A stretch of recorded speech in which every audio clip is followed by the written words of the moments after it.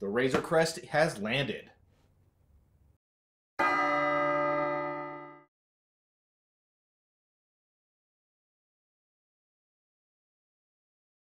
Uh, this is the HasLab kit of the Razor Crest from The Mandalorian, and it is, as you can tell, enormous. Uh, HasLab is Hasbro's internal crowdfunding mechanism. It's kind of like Kickstarter. And uh, they do really big, uh, kind of larger than, life kits that they would not normally want to put into, into retail. So they do kind of uh, larger scale, more big ticket ticket items. Uh, this is the second uh, kit that is a uh, that HasLab has done for Star Wars. The original one that kicked the entire thing off was they did the Khetanna, which was uh, Jabba's sail barge, done at the same uh, three and a half inch action figure scale. So as you can imagine, it was like you know enormous, huge. But this one is super exciting. Uh, the uh, HasLab project for this went out in September of 2020, and everyone was super excited about it. Within a month of the end of the of this thing uh, funding season two of Mandalorian was then running, and everyone was like, "Yeah, I funded my super giant spaceship." And then, as you all all you Mandalorian fans know, uh, towards the end of season two, uh, the Razor Crest is sitting in a field and gets shot by a star destroyer and just blows up and is totally destroyed. And there's no coming back. We'll go over the box real quick. It is enormous. It has that nice. Uh, they have the uh, Kenner style. Where is it?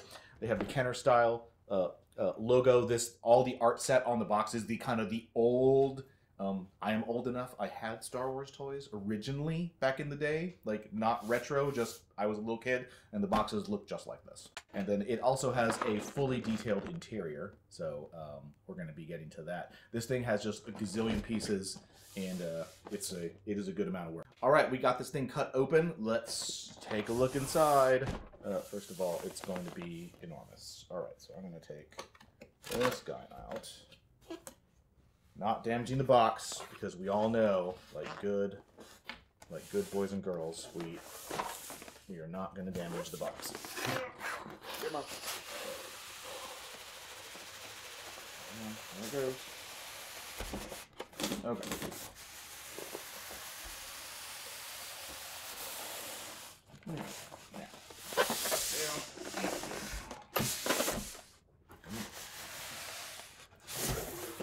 Okay. All right. Uh oh. There with the instructions. Okay. Got the box. Oh, grab this guy. Let's see what we got here. All right. We have a set of Mandalorian instructions. All of the how to put it together, how to put it together, how to put it together, how to put it together. All right. And then we have, all right, we got the foam. We got some parts of it are on the outside. Up on this side, we have the base. All right.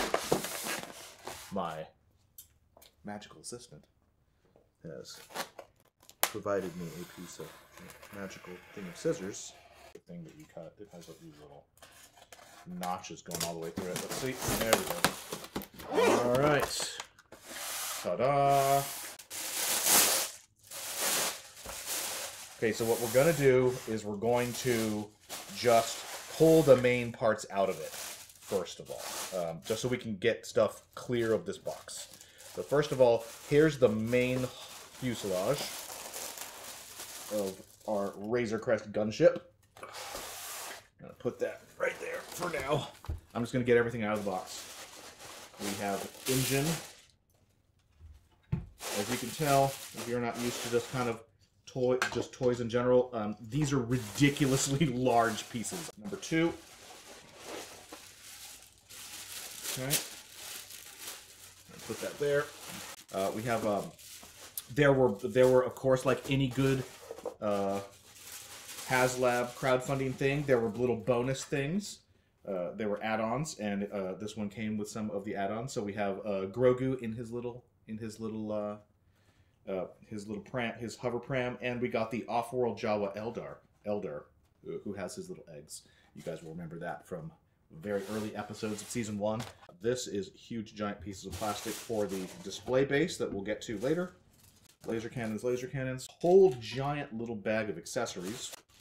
Mando. Can't do anything without him. Ah, and then we have two of the frozen and carbonite. All right, now we can close this guy up. There's more stuff on the outside. So we got a cut. You'll remember these things. This is landing gear. I've never seen a kit that has stuff packed in the foam where some of it's on the outside. It's kind of interesting. And then we have two more, maybe three more, two more of the frozen and carbonite dudes. Okay, other side, and then we will. Other side is the base. Take it out. That is an enormous base, but it is an enormous kit. Mandalorian. Those plastic things gone. That we'll deal with that later. The uh, detailing on this on this uh, toy is nuts. Like look at these engine compartments. There's all these things have like interiors. So that just goes on right there. Looks great. You got some little orangey parts in the engine that makes it look like it's on or could be on. So the main body, as you can tell, um, just enormous. It has all kinds of slide stuff because everything on it opens. There's the there's the top part, comes off. There's the escape pod, which opens up and you can put a little guy inside it. Has clear. Pl- uh, I mean, and look at all of the washing and texturing on this thing. It's crazy. There's some stuff on here that I don't even know how it opens. This opens. There's more paneling. This is the cockpit. Cockpit has a big giant clear plastic piece, and that is a crazy, fully detailed cockpit in there. Got the three seats, it's got the door, all the control panels. Um, just really, really well done. We have the door that opens up, has a full interior. Same thing. Over here, we have a huge amount of panels. I, I can feel that they want to come off, but I'm not quite sure how to get them off. Push, pull. I'm, I'm afraid, and I don't want to break it. Oh, there we go. There's an example of one. So there's tons of things like this. All, most of these side side panels come off, and you can see all the internal uh, ribbing and structure. All the instructions over here, real quick, because this thing's enormous, and we're going to get the main parts on there. So the first thing they want you to do is we're going to flip it over, and they want us to put the landing gear on it. So the landing gear have these cool little, they open up, of course, just because why wouldn't they? You get the little landing gear doors, and then, and we're going to grab the landing gear face back. So this goes like that. And it probably snaps on, like, there you go. Uh, these landing gear do come out again, so there's not, they have like a kind of a soft click on them, so they don't, you can take them on and off. It's not, it's not permanent. You can take them off, and this guy goes right here. All right. Flip. Oh yes, of course. There's a back hatch too. All right. This guy's right here. Number two, uh, the huge Razor Crest engines. They go up. Um, it is pretty clear. In fact, uh, uh, some of the designers said so that when you look at the Razor Crest, they wanted to create a vehicle for the show that kind of looked kind of tough and pugnacious. And uh, they uh, there's a little uh, you can definitely tell that uh, you know it's a gunship it's not a fighter you can definitely tell that the razor crest is pretty heavily um, all you aviation fans. There's a lot of a10 warthog in the razor crest has a lot of similar designs to it which they admitted which you know all makes sense.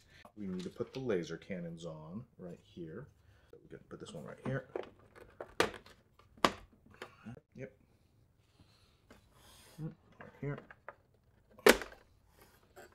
All right, there we go. Flip it around this way. Um, the base. The base. All right, let's figure out what to do with this base. I believe these only go one way. Let me make sure that it's correct. There's one, and then there's two. Okay, so these things go on. There's two pieces of plastic. They each go on uh, well, there's a short one and a long one. They go on both sides of the base. This is there's nothing special. Just press them in, and that lets you oh, take this whole guy, and you'll notice that the tall one here has a notch there, and that notch corresponds. If I flip this guy over, corresponds to this notch right there, and you should be able to, because I have seen it displayed. They showed they showed it displayed. You should be able to get this guy, and you can put him right here. Yep. And there you go. And now you have your now you have your your in-flight Razor Crest. Um, and that, in a nutshell, is assembling this thing and getting it all looking properly internally. Um, we'll take a look at the uh, at all the insides and the fancy stuff in just a second. All right, let's turn this guy around so you can just get an idea of how giant this thing is.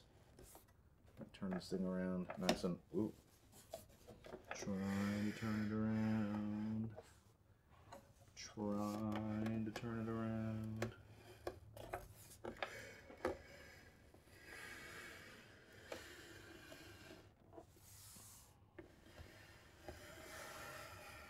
Ooh, and a little bit more. You can tell. It is a big one. Okay, so we got a couple things open just so you can have even more of a uh, sense of, of, of this thing. Here is the engine. This is just one of the mini panels that comes off it. You can tell these things are just completely detailed on the interior. We got the, um, we also got the, um, it also fit in just one way. Uh, here's an example. This is the side with a complete, fully detailed uh, interior. And you can see, I'll just tip this guy over. It has a complete, full detailed interior in there. We'll be getting you better shots of that uh, in a second. Uh, door opens and closes, and and aha, as I as I was saying on the back, just because I wanted to show you for all you Mando fans, has a rear cannon, which is kind of cool for and uh, on there. So super super cool. Ha, button. Ta-da! Look at that. All right, folks. Again, this is enormous. Uh, just to get uh, some dimensions, this is 10 and a half tall by 20 wide by 30 long. I mean, this is just, you know, as you can tell, this is just, it's, it's too big to go on your desk. You're going to have to put it someplace special. I don't know what special means, but but I'm sure in your hobby room you have a place that is special that you can find to put it. And let's talk about all the other things it comes with. You have a whole bunch of bonus materials that it came with. First of all, you have uh, Mando himself. He comes with the kit, standard three and a half inch uh, figure. This is uh, uh Mando. He has all of his armor he has all of his uh, his uh, awesome Beskar at this point, so it's not early episode Mando; it's later episode Mando. Uh, he has his soft goods cape because, of course, you're going to want to be able to have him sitting down and in the cape and and uh, in the cockpit or all, however you want to pose him. So he's got his cool little fabricy cape. Um, the uh, one of the bonus add-ons you have the four uh, frozen in carbonite folks. They have little tiny hooks on the top of them, and they do hang from, uh, there is a series of hooks that goes, four things uh, slot into hinges that are in the roof of this and they do hang down uh, inside it. You also get the interior cabin has, uh, it has a sleeping area, it has cargo nets, has a bathroom, first Star Wars toy that actually has a bathroom. When you are looking at all of these little add-ons that come with the kit, there's a ton of guns because Mando loves his guns. It's not only an incredibly detailed kit that is fairly screen accurate, it's weathered, it's beat up uh, uh, completely, just like it is in the in the show. But it is fully detailed and fully accurate, exterior and interior. It is just truly an amazing kit.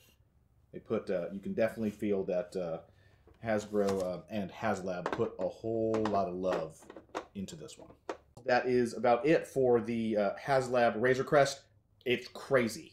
It's enormous. It was worth the year and a half wait as you can tell, this guy is going to have a very, very uh, special place on our on our set for all of you all to enjoy. Uh, you could definitely feel this was like a major, major effort. The detail is far and above what I've ever seen on any other uh, Star Wars kit, especially Star Wars kit of this scale, which is just, you know, crazy. If you guys want to see some more Star Wars stuff, check out here. I'm Larry with BoLS. Have a great one.